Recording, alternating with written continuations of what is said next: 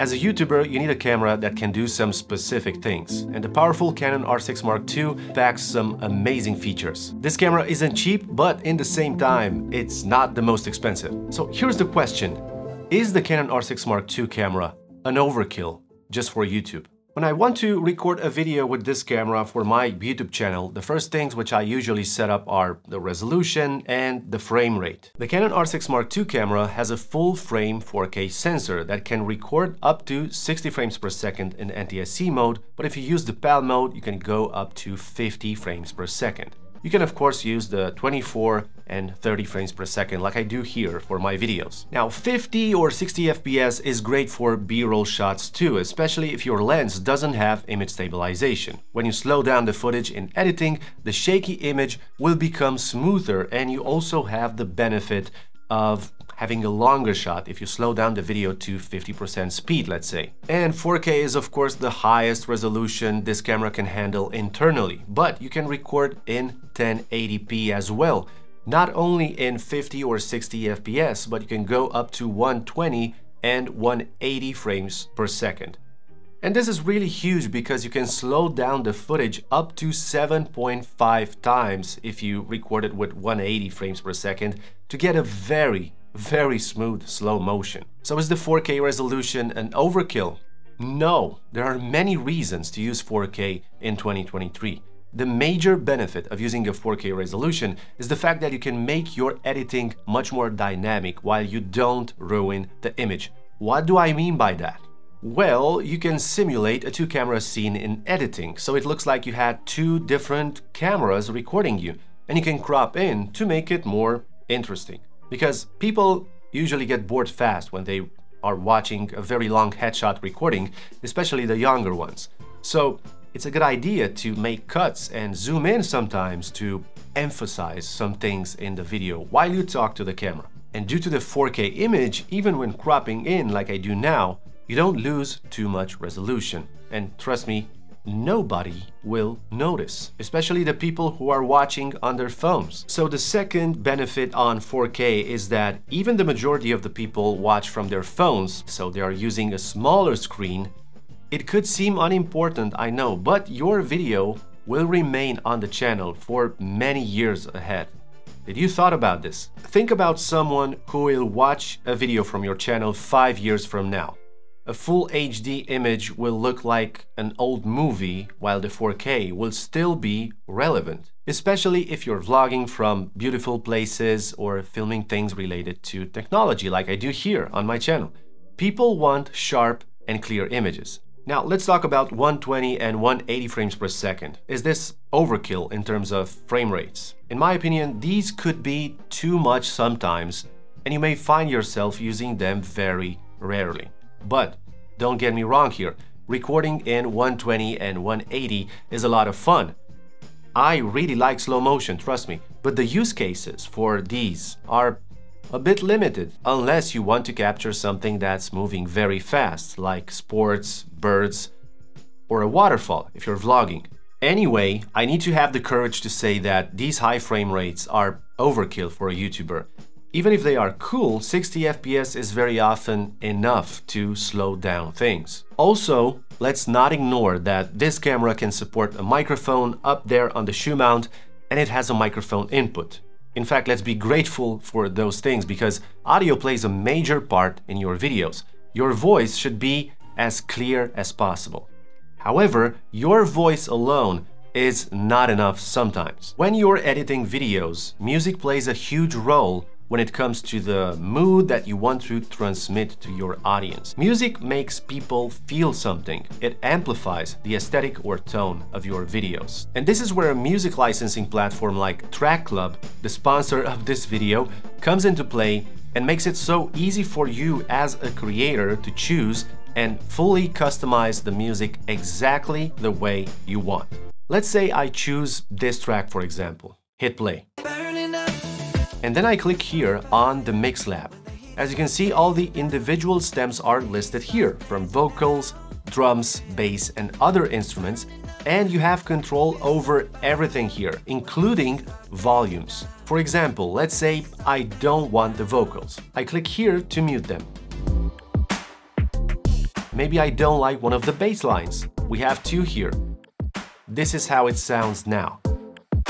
And I can also change the volumes of the stems if I want, or mute everything except for the drums, because maybe I want to use the drums for the intro.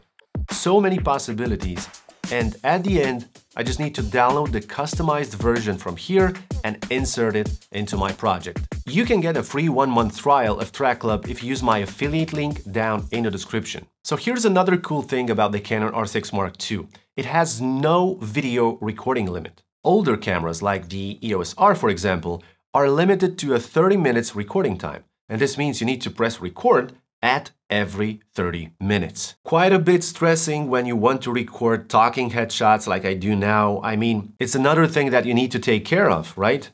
If you're a one-man band, like I am. But the R6 Mark II doesn't have any recording limit.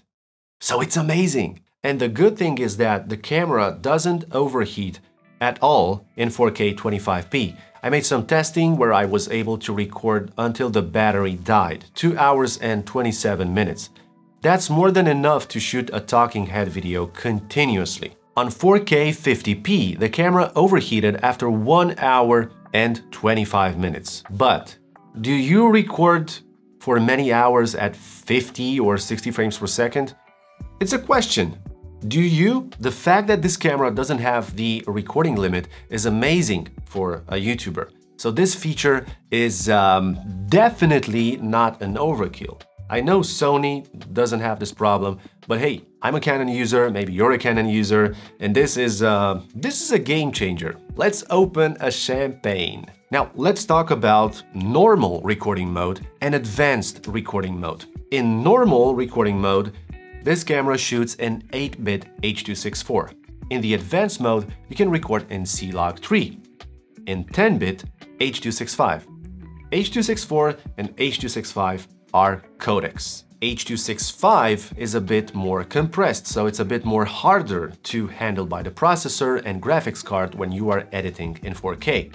But there is a workaround for this, to create proxies at lower resolutions and then render at full resolution when the project is ready. The main benefit to choose H.265 is to be able to shoot in 10-bit C-Log 3, which allows you to capture much more information and highlights and shadows. The image has a lack of contrast out of the camera, but you can correct it in editing and obtain really good looking images with great contrast, colors, and improved dynamic range. So recording in 10-bit C-Log 3 is a huge benefit if you want to obtain the best color grading possible in the editing process while also keeping the file size at a decent level thanks to the H.265 codec. So is this overkill for a YouTuber? It depends if you're a beginner in video making or if you are advanced and much more familiar with color correction, color grading, skin correction, and so on. But I assume that if you choose to buy this camera, you are a bit more advanced or you have serious plans to pave your way from beginner to pro. The Canon R6 Mark II has also dual card slots, which is amazing because if something happens to one of your cards or something gets deleted, you can always have a backup on the second card. It's very, very useful when you shoot weddings and events. I mean, when you shoot things that happen one time, then they, they cannot be repeated. And for YouTube, it's nice to have it, to be honest. And the feeling that it gives you is actually very similar to the no recording time limit. It, it just makes you feel safer. It's safe. Don't be afraid. You don't lose anything. You have two cards, Chris. You could be a YouTuber who travels a lot and wants to document things that don't happen twice, like for example, meeting Casey Neistat or Peter McKinnon or Gerald Undone.